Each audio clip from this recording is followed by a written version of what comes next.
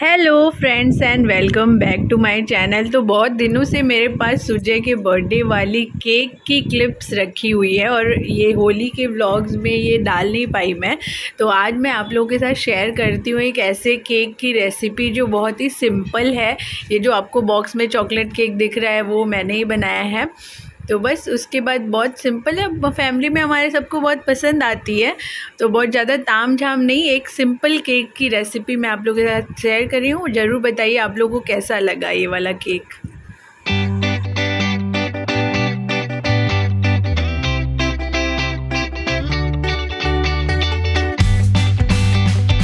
तो चलिए शुरू से शुरू करते हैं। हम लोग कोई भी केक बनाने से पहले उसका जो ट्रे है वो रेडी करते हैं। तो ये पेपर जो मैंने बटर पेपर लगा लिया है इसके ऊपर और अभी मैंने लिया है दही।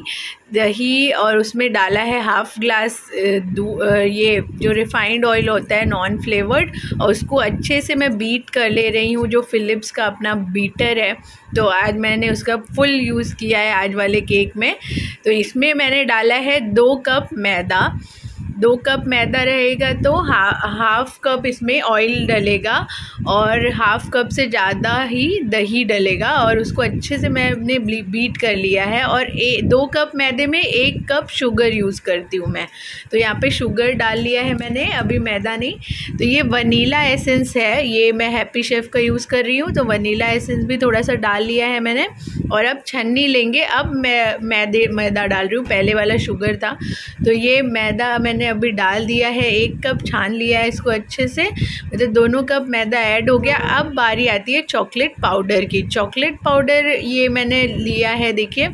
ये विंगफील्ड कंपनी का है। ये भी बहुत ज़्यादा डार्क है तो बहुत ज़्यादा मत डालना आप लोग। केक हमारा एकदम अच्छा डार्क चॉकलेट वाला केक बना था तो थोड़ा लाइट भी आप लोग रख सकते हो। उसको भी मैंने अच्छे से छान लिया है। और थोड़ा सा कॉफ़ी पाउडर डालते हैं फ्लेवर के लिए तो वो भी मैंने ऐड कर दिया। तो ये देखिए, अच्छे से मिक्स कर दिया है मैंने।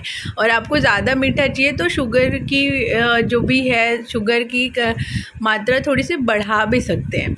तो बस सब चीज़ डालने के बाद केक को अच्छे से बीट करूँगी, इतना बीट करूँगी कि वो रिबन कंसिस्टेंसी में आ जाए, जो परफेक्ट केक की बैटर की कंसिस्टेंसी रहती है ना, एकदम रिबन जैसा बन जाता है। तो ये देखिए कितना अच्छे से बीट हो गया, हाथ से इतना अच्छा नहीं हो पाता है। तो एकदम अच्छा फ्लोई सा केक आपका बनेगा स्पॉन्जी सा। और ये देखिए रिबन जैसा लग रहा है यहाँ पे ये ये देखिए। नीचे आपको दिख रहा है ना, रिबन की कंसिस्टेंसी आ चुकी है हमारे बैटर में।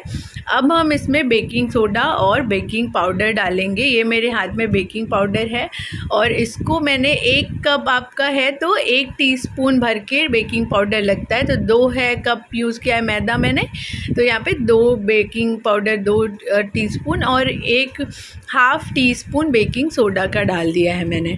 और बस यहाँ पे उसको बेकिंग सोडा और बेकिंग पाउडर डालने के बाद हल्का सा मिल्क एक दो स्पून डाल के कंसिस्टेंसी को सेट कर दीजिए और उसके बाद ज़्यादा बीट नहीं करना रहता है, नहीं तो केक इतना अच्छा फूलता नहीं है सोडा डालने के बाद। पाउडर वाउडर डालने के बाद और इसको अच्छे से हमने केक ट्रे में रख और अब हम एक कढ़ाई में थोड़ा सा नमक डाल के उसको प्री हीट होने के लिए मैंने पहले ही चढ़ा दिया था तो उसमें थोड़ा सा स्टील का एक स्टैंड रखेंगे और उसी स्टैंड पे ये आ, अपना केक का जो टिन है वो डाल देंगे। तो ये देखिए हमारा बैटर रेडी है और वो केक डालने के बाद अच्छे से उसको ढक देंगे हम लोग। यहाँ पे देखिए अच्छे से मैंने उसको कवर कर दिया है।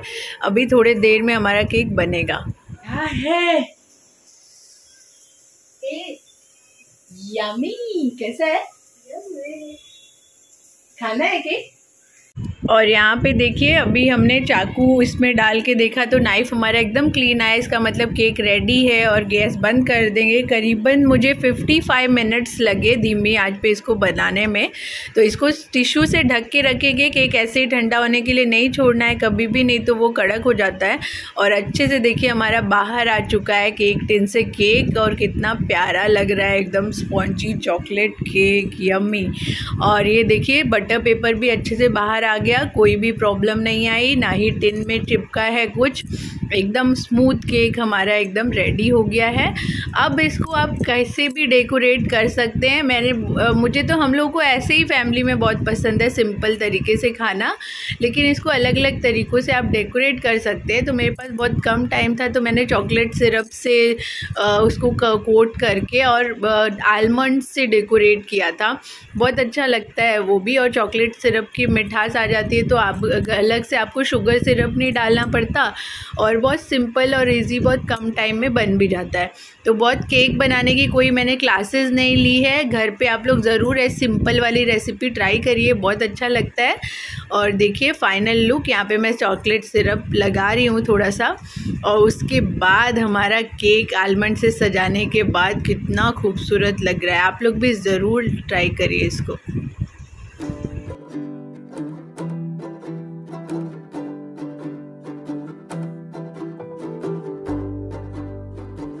सो so, अगर आपको मेरी ये छोटी सी रेसिपी वीडियो अच्छी लगी है तो प्लीज़ uh, मेरे वीडियो को लाइक करिए शेयर करिए एंड सब्सक्राइब करिए. And thank you so much for watching till then bye बार और हाँ ये सिंपल वाली केक की रेसिपी ज़रूर ट्राई करिए. घर में सबको बहुत ही ज़्यादा पसंद आई है केक की रेसिपी और स्पेशली मैंने ये लॉकडाउन में डिस्कवर की है केक बनाना सीखा है. So thanks for watching bye